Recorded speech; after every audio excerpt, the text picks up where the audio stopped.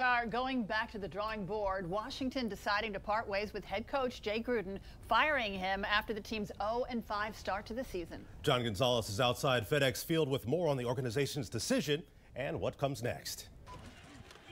The final straw may have been a lopsided loss to the Patriots, and now fans are saying another season flushed away. It's long overdue. You know, unfortunately, uh, my franchise has been in the toilet for uh, quite some time, and um, change is needed at the leadership position. And I think uh, this is perhaps a step in the right direction. Jay Gruden, in his sixth season, is out, and assistant coach and offensive line coach Bill Callahan is now the interim head coach of the Washington Redskins. Snyder, you know, we know the history as far as uh, the team and the mediocrity uh, since he's taken the realm.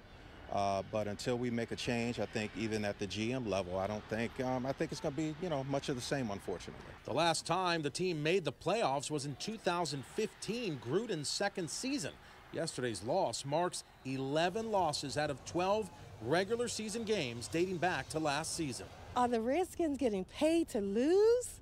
and what do you think about the, the stadium yesterday? More than half filled by the other team's fans. Oh, yes, I saw that on my way coming from 202. So I turned around. It was just too congested. You can say this is the worst state the Redskins have been in in about 20 years.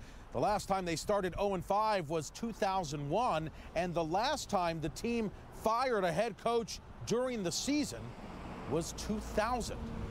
At FedEx Field, John Gonzalez, ABC 7 News.